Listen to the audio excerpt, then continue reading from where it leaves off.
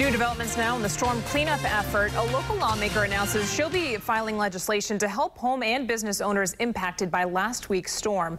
State Rep Patricia Serpa says she will pre-file bills for the General Assembly's next session in November. Now, the first would give homeowners whose property sustained damage a $500 tax credit.